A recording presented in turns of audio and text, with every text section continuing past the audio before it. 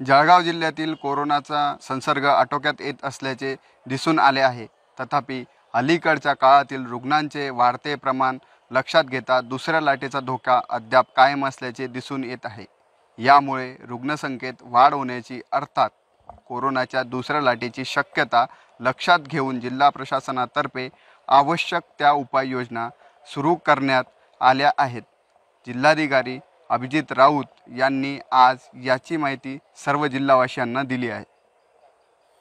लोकप्रतिनिधी प्रशासन स्वयंसेवी संस्था यांच्यासह नागरिकांनी दिलेल्या सहकार्यामुळे जिल्ह्यातील कोरोनाच्या पहिल्या लाटेचा आपण बऱ्यापैकी प्रतिकार करण्यात यश संपादन केले आहे. या पार्श्वभूमीवर आता दुसरी लाट आली तरी तिला थोपवण्यासाठी जिल्हा प्रशासन सज्ज असल्याची माहिती जिल्हाधिकारी अभिजित राऊत यांनी दिली आहे.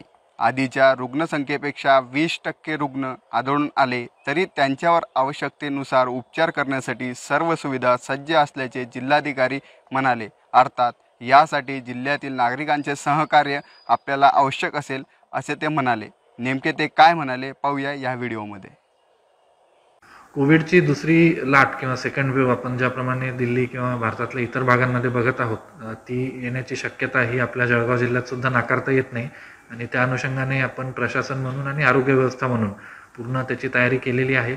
आपण पहिल्या टप्प्यामध्ये पहिल्या पीकमध्ये आपल्याकडे जेवढ्या ॲक्टिव्ह केसेस होत्या त्यापेक्षा वीस टक्के केसेस जरी जास्त आल्या तरीसुद्धा बेड्स पुरेसे असतील. इतके नंबर ऑफ बेड्स आपण तयार ठेवलेत. अंदाजे चौदा हजार चारशे बेड्सचं नियोजन आपलं झालेलं आहे. त्यात मग आय सी यू बेड्स आणि व्हेंटिलेटर बेड्स हे शासनाच्या निकषाप्रमाणे त्या त्या प्रमाणात हे असतील. याशिवाय आयसोलेशन सेंटर्स आपले आहेत. सद्यस्थितीत जरी बरेचसे आयसोलेशन सेंटर्स आपण बंद केलेत किंवा क्लब केले असले तरीसुद्धा जेव्हा गरज पडेल त्यावेळेस आपण ते उघडू शकतो. त्याचप्रमाणे अनेक प्रायव्हेट क्लिनिक्स आणि हॉस्पिटल्स आपल्याला यात सहभागी गेल्यावर झाले होते. शासनाच्या एटी ट्वेंटी रूलनुसार त्यांच्याशी सुद्धा आमची प्राथमिक चर्चा झाली आहे. आवश्यकता जेव्हा भासेल तेव्हा एक बा एक एक करून आपण हे हॉस्पिटल्स पुन्हा एकदा एटी ट्वेंटी बेसिसवरती वापरास घेऊ शकतो. परंतु या सगळ्याच्या तुलनेत जर महत्त्वाचा विषय असेल की प्रतिबंधाचा तर आपण जर mask social distancing hygiene handwashing ह्या गोष्टी पाळल्या तर सेकंड वेव्हमध्ये आपल्याला फार नुकसान होणार नाही. त्यामुळे मी सगळ्यांना हेच आवाहन करतो की आपण या गोष्टींवर जास्त भर द्यावा आणि नंतर बेड किती आहेत किंवा बेडची आवश्यकता लागणार नाही अशा पद्धतीनं जर आपण आताच प्रतिबंधात्मक उपाययोजना केल्या मार्केट्स असतील हॉटेल्स असतील इतर सार्वजनिक ठिकाणं असतील त्या ठिकाणी जर गर्दीचा प्रतिबंध केला डिस्टन्सिंग पाळलं तर मला वाटतं की सेकंड वेव्हमध्ये आपल्याला फार काही नुकसान होणार नाही.